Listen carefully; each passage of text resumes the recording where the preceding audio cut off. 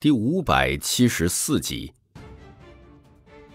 轰的一声，这尊神明仿佛可以开天辟地，一只手大手探出，神城皆被覆盖，再也望不到星空，天宇抖动，将要崩裂。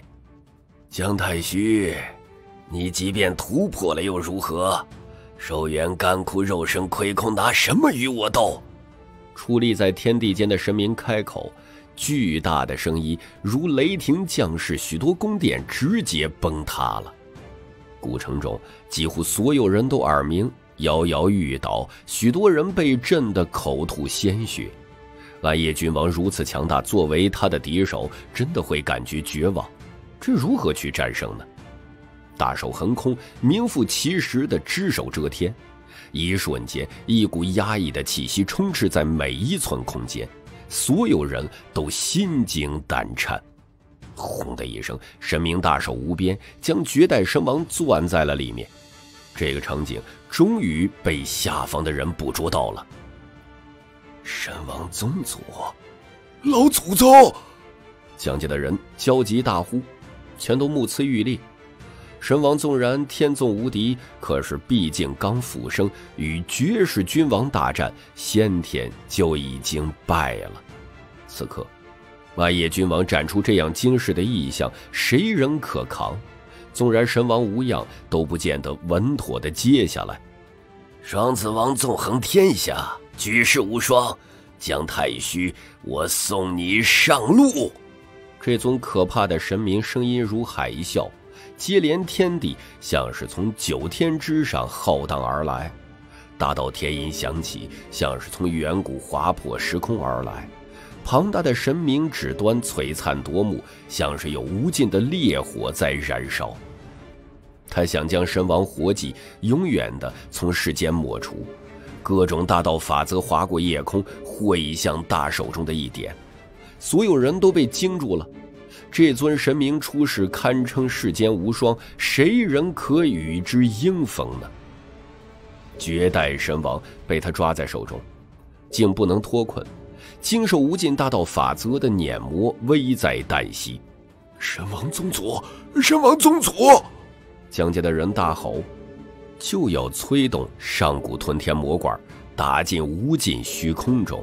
可是，七大圣主级人物一起出现了，全都冷笑连连，准备抢这半件极道圣兵。终于见到姜太虚被镇压，他们不想发生任何意外，绝代神王不除，他们必死无疑。忽然，啵的一声，夜空中传来一声轻响，那只巨大的神明猛地一颤，他的庞大手掌被打穿出一个血洞。暗夜君王大吼着：“姜太虚！”大手越发璀璨了，那个血洞快速消失，完好如初。可是，轻响再次响起，神明的大手如绚烂的烟花在绽放，不断的迸溅出血花，接二连三的血洞出现，大手无法闭合，被一道道冲霄的剑芒洞穿了，各种法则秩序的力量都不能阻挡。噗的一声。最后一声轻响，绝代神王破出衣布染血，洁白无尘，静立虚空中。他化成了一把绝世神剑，以己身斩破神明大手，冲了出来。暗夜君王喊声说道：“斗战胜法，可惜，终究是强弩之末，你的境界发挥不出来。”江家的人焦急。快，让圣炉复活，摆脱另一件大地圣兵的纠缠。姜太虚为天纵神王，但可惜刚复生，与生死大敌争锋，多半会凶多吉少。他们不能不急呀！按之不动啊！掌控恒玉炉的几名老人惶恐，根本无法摆脱另一件圣兵。几名老人神色焦虑。暗夜君王所图甚大，欲我族圣炉。暗夜君王持古之大地圣兵而来，与恒宇圣炉对抗，为其他圣主级人物打开一条通路，让他们深入地宫来杀神王。而在这个过程中，他竭尽所能控制另一件大地圣兵，抵住恒宇神炉，更是刻下了惊世的大地阵纹。终于在不久前，他烙印完先天纹络，成就了无上神阵，与古之大地圣兵合一，要将恒宇炉夺走。如果不是叶凡打出离火神炉，恐怕他已经成功了。此刻。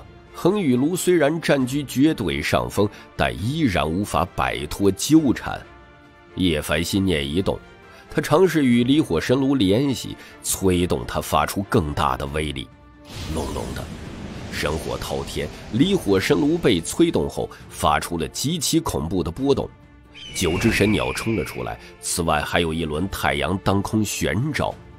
叶凡大吃一惊，这是。若是平日，此炉绝对不可能有这样的阵势威能。然而此刻却骇人至极，几乎要堪比大地圣兵了。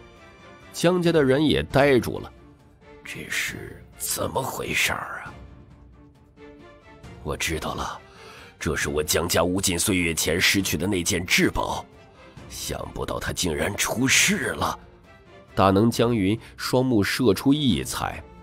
第九大寇江毅也叹息：“昔年，神王老祖就是得悉了他的下落，出去寻找才消失的。”叶凡心中空灵，以强大的神念控制此炉，催动它发出更为惊人的威力。七位圣主级人物全都一惊，想要阻止却根本不可能。真的是大地的法则与正文吗？人们吃惊地发现，离火神炉上有九道神虹与叶凡连接到了一起，在其盖子上面有九个古字绽放赤霞，两者间无法斩断，像是成为了一个整体。七位圣主数次尝试都没有成功，每一个古字都流转出大道的气息，玄奥无比，似欲让人的心神吸引进去。九个古字，是地文。轰的一声，离火神炉冲出一道道波纹，卷动十方，玄奥至极的阵纹自然生成，烙印在虚空中。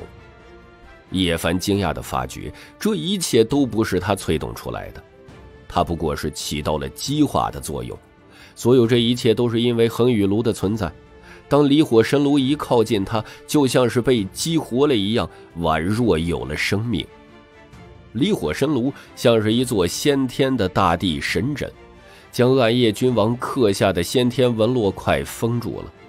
恒宇炉则更为恐怖，越发的威能滔天了，要将另一件大地圣兵镇压。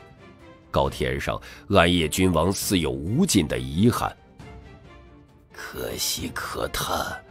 我错过了恒宇圣炉，不过我杀死姜太虚还来得及。他费尽手段要谋夺古之大帝的圣兵，却成为了一场空。如今专心攻杀神王，暗夜君王知道他的时间不多了。恒宇炉一旦脱困，他只有必走一途，杀绝代神王只能在眼前。轰的一声，天空中。成为一片永恒的神光，望不到尽头，见不到边际，像是从天地初始时代贯穿到现在，成为天地间的唯一。神城中，所有人都不会忘记这一日，这对于他们来说是一场恶难，最起码有一半的人咳血倒地。这种无上威压没有办法抵挡，像是一座魔山一样压了下来，是。无法承受之重。暗夜君王与绝代神王大战到了白热化，天地规则、大道秩序不断被他们打出，将夜空化成了光的世界。姜太虚，你完了！圣枯力竭，无神力可用，不能催动天地大道，你如何与我争锋？暗夜君王冷笑。此时，永恒的神光消失了，中州的王者与东荒的神王，他们的身影终于显现了出来。神王净土一片瑰美，漫天的花雨在飘落，片片晶莹。那里只有一株神树，苍劲如囚笼，轻轻摇动，接受花雨的洗礼。